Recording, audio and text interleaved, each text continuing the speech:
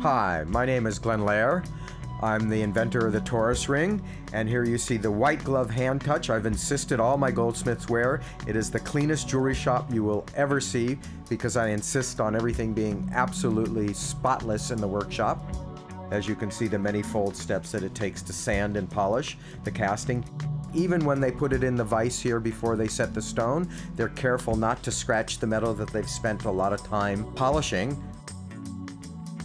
He's laying ready to set the blue topaz in the center of that.